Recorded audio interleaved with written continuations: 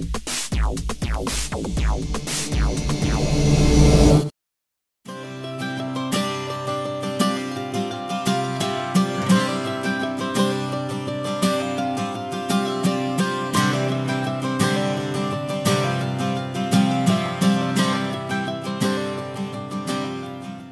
Just fabulous to see stuff that you know we put away 10 years ago or some of it's even been in storage for 25 years for as long as the museum's been around. 90% of our collection was in storage um, in the old museum we just didn't have the room to exhibit and so there's a lot more on display today. The previous museum was about a thousand square feet of exhibition space. The new Park City Museum's 12,000 square feet so we've grown a lot of people, you know, history was not their favourite subject at school and it wasn't something that they pursued and most museums they think of as being, you know, dusty stuff in cases have quite a lot of um, documentaries playing. And, you know, some of them are really fun because it's home movies made in the 60s when film, 35 millimeter film was you know, the brand new technology of the day. The meat sign hanging outside the Smith and Brim store is 1903, and I think it was the first electric sign on Main Street. Um, and you can see it has 80 light bulbs in it. So I don't think it would meet the sign code today, but it's fabulous. While shopkeepers may have been able to afford electricity, that wasn't the case for everyone in town. 100 years ago, you know, electricity was brand spanking new technology and people couldn't necessarily afford the light bulbs and so they'd have light bulbs in their house saying, stolen from the mine company. Not only are the exhibits historical artifacts, the building itself has a great history.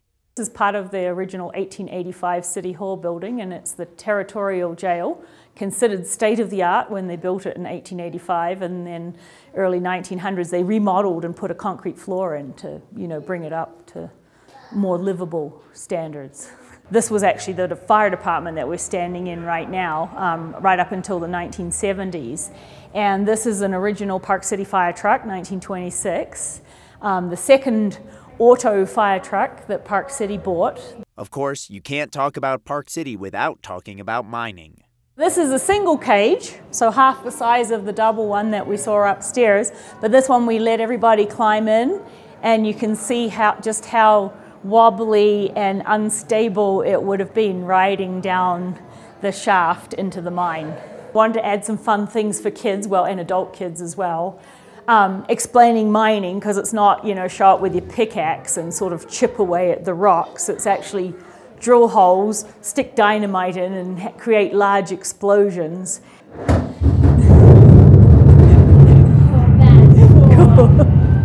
As the mines ran out of silver, skiing became the town's main industry. You know, the Scandinavians that came to Park City at the turn of the century brought skiing with them. And at that point, everything was just big, giant, long skis. And so you went downhill and off the mine dumps was the fun.